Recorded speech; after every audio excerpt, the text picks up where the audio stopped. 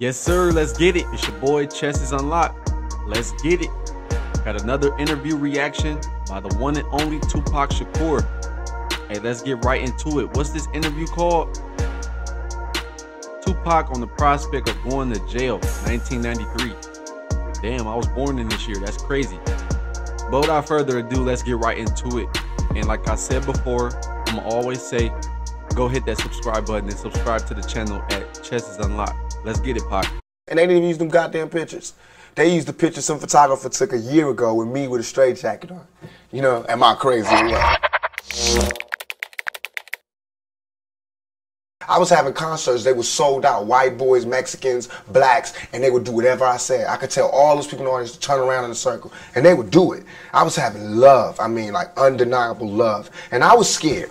I was scared that I would come to a town and I have the, the, the leader of the gang there telling me, what do you need? I was scared, but so was America. So was somebody else because all of a sudden I had all kind of legal problems.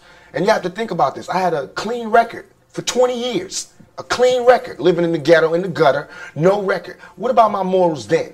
What about my character then? You know what I'm saying? In two years that I start raising noise, that I start being publicly viewed, I've had a record. And now it looks like I'm a criminal who has no way of being reformed. But Yo, yo, that's deep, bro. What?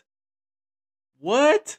It's always like that, bro. Once you start getting like some control and once you start to like um once you start to get people to gravitate your way and you start speaking out, that's when all the bullshit start coming your way, all the trouble. It all start to come your way, bruh. That's 100%. Like how he was just saying, they don't think about the 20 years where he didn't do anything, where he was a good Samaritan. He ain't have nothing on his record. He was cool, calm, and collective.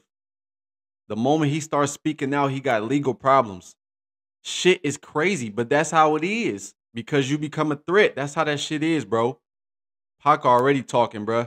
And he was basically talking about the crowd control that he had, like the power that he had where the where the crowd would do whatever he wanted because he was in that position of power.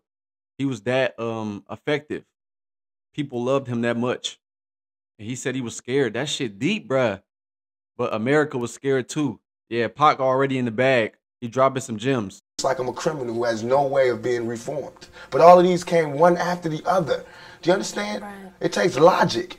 Well, what about, I mean, some of, I mean, that's an, another interesting part of your past. Have you ever been incarcerated before? Have I ever been Yeah. incarcerated? No, not for longer than a day. Longer enough for somebody to take me. You know, the police can arrest anybody they want, put them in jail. But if you stay there, that you know what I'm saying? I haven't I haven't stayed anywhere. I've been arrested a lot, put in the cell, and they come and get me when I call my lawyer. You know what I'm saying? But I'm an innocent type of guy.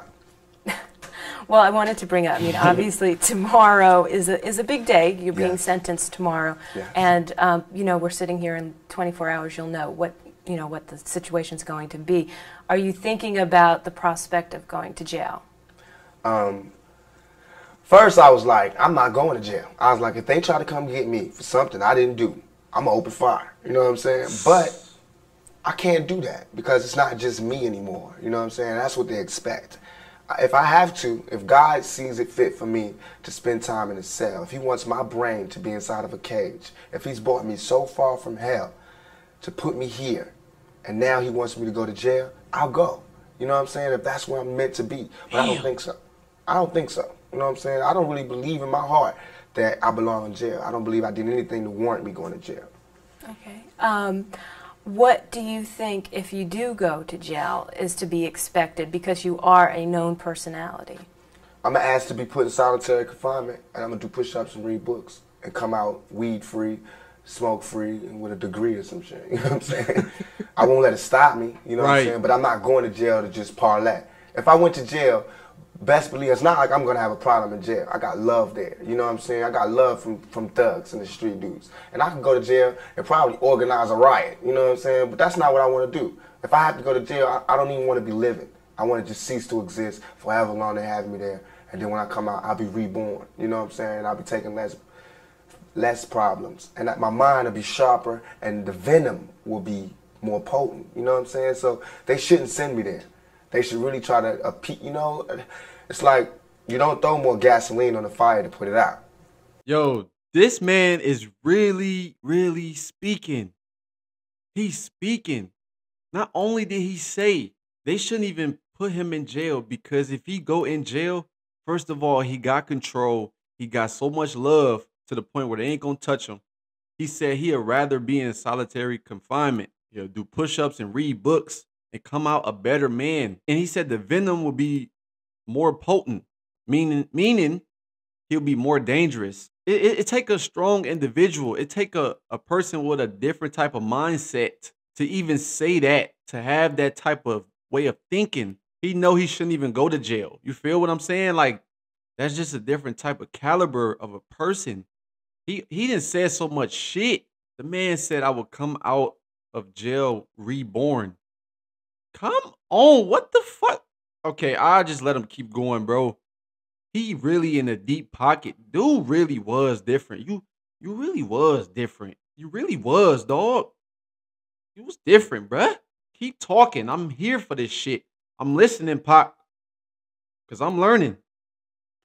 Has less problems, and my mind will be sharper, and the venom will be more potent. You know what I'm saying? So they And he said his mind to be more sharper. That's what I meant to say. His mind to be more sharper. And the venom will be more potent. Yo, come on, bruh. shouldn't send me there. They should really try to, uh, you know, it's like you don't throw more gasoline on the fire to put it out. That's facts. What What about? Um, I mean, this is one step, and there's some other, you know, cases that are going to be coming up. What has changed for you? And you mentioned the last two years is when all, everything started to happen, one after the other. What changed for you in these two years? How is your life now different than it was before? like I said, you know, it was no spot for Tupac. It's not like there was somebody like me before and I and I moved into the spot so I can ask him how he did it. You know what I'm saying? There was no spot here. Nobody wanted to be, you know, the, the person that thugs and the street people could rally around. Nobody wanted to be that. So when I was that I couldn't handle it. You know what I'm saying? I couldn't I could handle it, but not Y'all, I gotta go back just a little bit. I'm sorry. I gotta go back. coming up. What has changed for you? And you mentioned the last two years is when all, everything started to happen, one after the other. What changed for you in these two years? How is your life now different than it was before? like I said, you know, it was no spot for Tupac. It's not like there was somebody like me before and I and I moved into the spot so I can ask him how he did it. You know what I'm saying? Mm. There was no spot here. Nobody wanted to be, you know, the, person that thugs and the street people could rally around. Nobody wanted to be that. So when I was that, I couldn't handle it. You know what I'm saying? I couldn't. I could handle it, but not right away. Of course, I had problems. I was making mistakes that anybody would make. When you have 14,000 people ready to do whatever you want. You know what I'm saying? When you have all over the country people waiting to hear what you want to do. You know what I'm saying? This thug life code, we have a code putting order to the violence on the streets. And when they all listening to you, I got people in the penitentiary, you know what I'm saying? Big time OG criminals who are calling me, telling me they want me to lead their movement. I mean, That's deep, bruh. You know how much power you gotta have?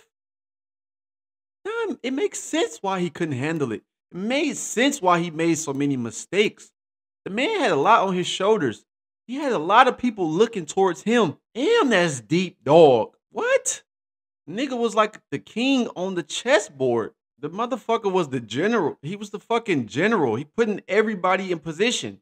Pause if that's a pause, but he putting everybody in position. He making all the moves. That's a lot to deal with. What do you say, like 14,000? That's, come on, bro. Wi- willing to do whatever you tell them to do. Come on, bro. That that's just a different type of power, different type of level. That comes with a lot of responsibility.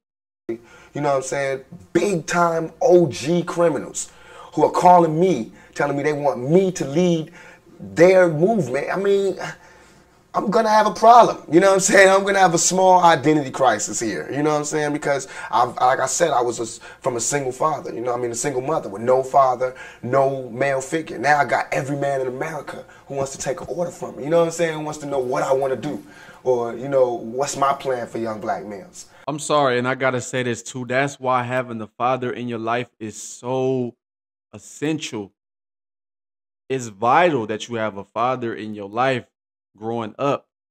The man just said it himself, growing up in a household with just a single mother, not having that father figure to mold him and bring him up to show him the way.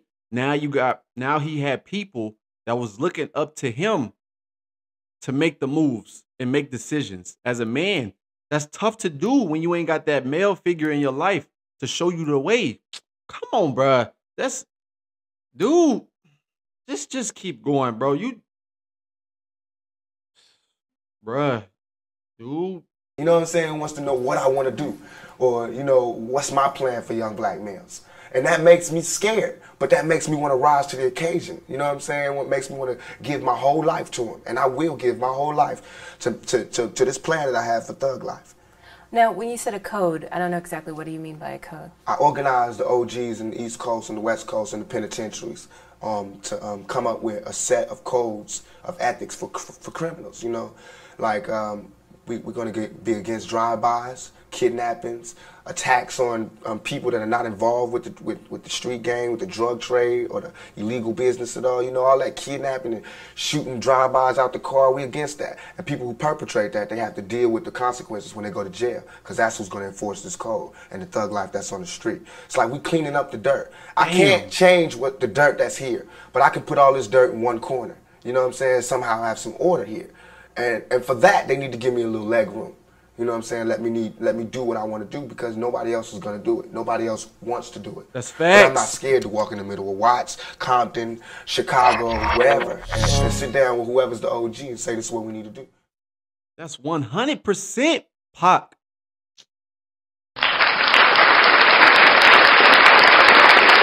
And that's so true. He literally could go anywhere it may not have ended well. I, I don't know, but I'm just saying, like, he had the heart of a lion to go anywhere and talk to the biggest OG and come to an agreement and talk about the shit.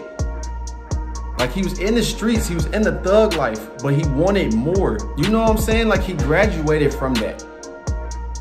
Like he wanted more out of life. He wanted things to be better. He even said it about the uh the thug life code. People doing shit, getting out of line, drive-bys, killing kids, all of that. You will have to deal with that when you go to jail. Nobody really was doing that shit. That's facts, bruh. They should have gave him more credit. They should have gave him more room to work with, like he said. Cause he was doing things in the community to make it better. Yo, Pop, bro, this is why. That's why they had to get rid of dude because he applied, like I said before, bruh, he applied too much pressure. He was speaking out too much. They was afraid of this man. They really was. The young guy wasn't scared of shit. And I'm gonna just put it to you just like that. Pac wasn't afraid of nothing. And I'm gonna keep saying that, bruh. The man is very inspirational. I'm telling you, man. He be dropping so many gems. Pac is giving out so much vital information, and he knew so much back then that's applying to today's society. That's how you knew he was just ahead of his time. We got more interviews on the way from Pac and more of our people need to hear and listen to. He wasn't just a hothead. He was a hothead when he needed to be. When things popped off, that's the only reason why he went crazy. In retrospect, he was also a good person. I ain't got nothing else to say. I appreciate this interview. We got more on the way. Listen, if you haven't already, please go subscribe to my channel at Chest is Unlocked. You already know the vibes. Go follow me on Instagram at Chest is Unlock. And we up out of here. Peace, blessings, and love to all my gods and goddesses out there.